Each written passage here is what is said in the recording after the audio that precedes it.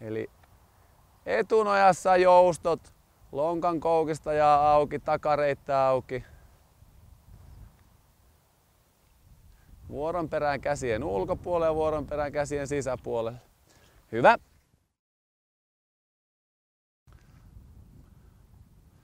Seuraava liike. Etunojassa taas. Saa edelleenkin lantion seutua auki. Mennään sivulle. Käydään takana. Vuoron perää ulkopuolelle, vuoron perää sisäpuolelle. Hyvä. Yrittäkää saada, että tulee ne jalat käsien väliin ja käsien ulkopuolelle mahdollisimman pitkälle.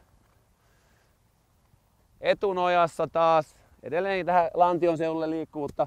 Kädet tukevasti maassa, mene sivulle, muutama jousto, tuu keskelle, toinen puoli, muutama jousto. Ja pyrkää pitämään jalat mahdollisimman lähellä sitä käsiä. Et kun tuutte keskelle, niin varpaat on lähellä käsiä. Ja sivulle siinä samassa linjassa.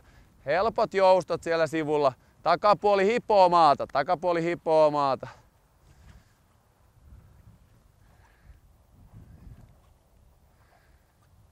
Otetaan askelkyykky sivulle.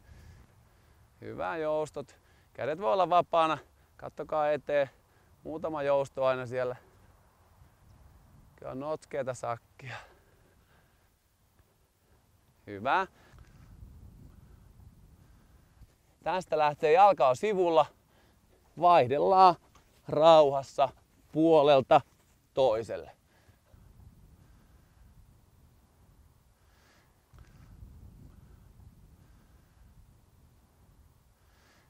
Kolme rauhallista, helppoa joustoa siellä sivulla. Hyvä.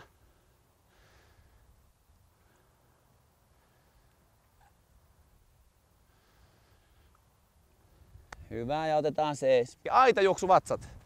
Eli aina suora jalan puoleen liikahtaa niiaa vastakkaisella kädellä. Kerran niiaa ja saman tien jatkuu. Kerran niiaa ja jatkuu.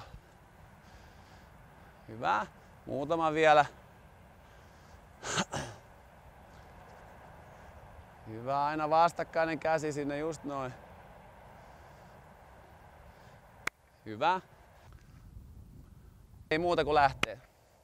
Aina vastakkainen puoli. Ja, tehdään kolme kertaa.